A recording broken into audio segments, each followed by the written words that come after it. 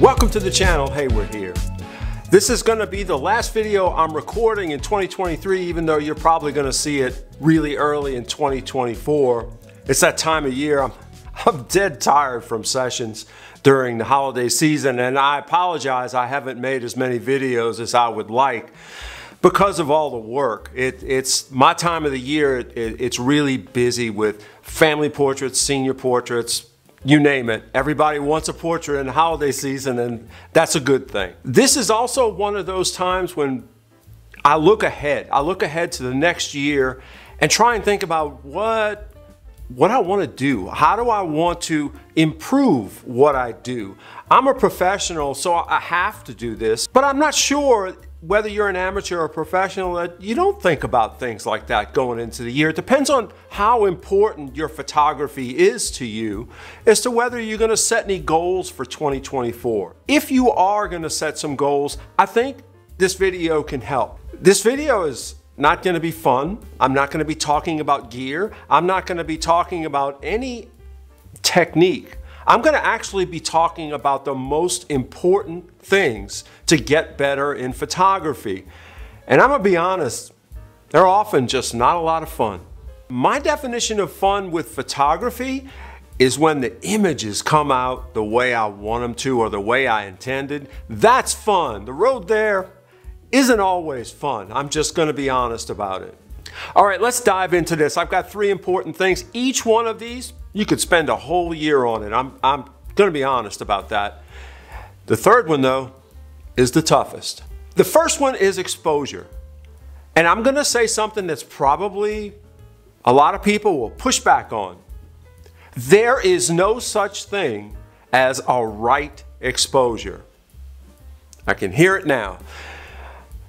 I, I truly believe this. There is no perfect exposure. There's no absolute right exposure. It's not a question of the histogram or this or that or the other thing with exposure. It's not. It is you are in an artistic endeavor in photography. And the right exposure is the one that renders the image the way you want it. So you constantly have to experiment and push and work on learning more about exposure, experimenting, seeing what it takes to get where you want to go.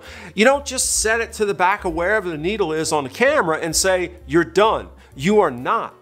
You will totally limit your growth as a photographer by thinking of exposure that way. You've got to think about contrast, highs, lows, the balance between them the, histogram might tell you that you've got a horrible exposure. It's all the way to one side or whatever.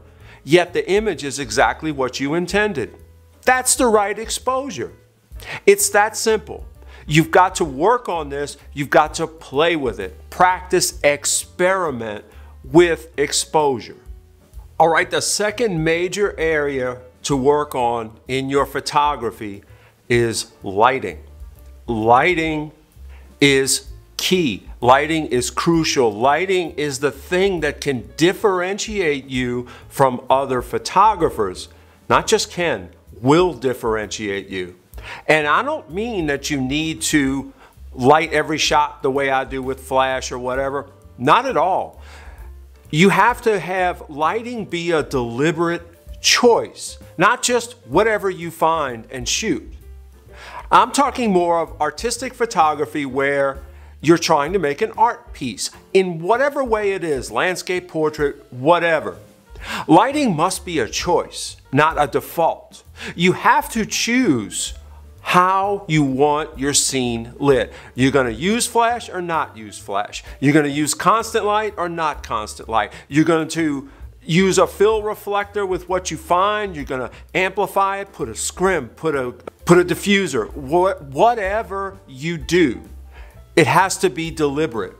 And it is something that you will never stop working on as long as you do photography. If you're trying to improve your photography, it will pay huge dividends to spend time experimenting and trying to improve your lighting. All right, the third most important thing you can do to work on your photography. And I'm going to say right now, that this one is more important than the other two. Because without this one, the other two don't matter.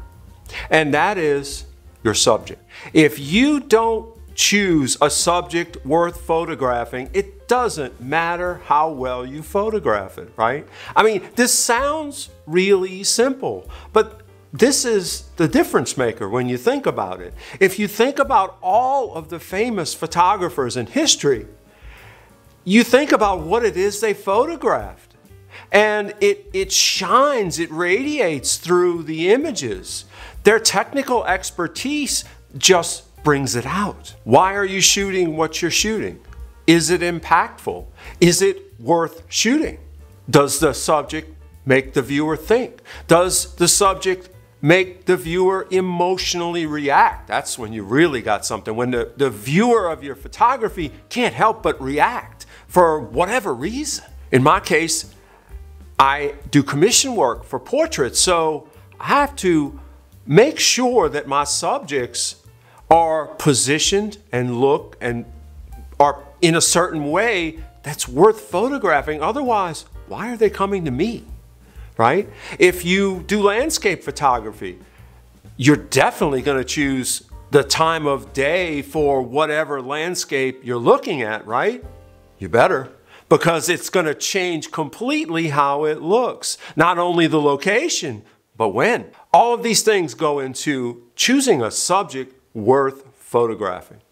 I hope you have had a wonderful 2023. It's been my honor to share these videos with you, and I really have gotten a lot out of your comments and feedback on the work that I've done. I hope you go into 2024 invigorated and excited to get better, and I hope I can help you along that journey.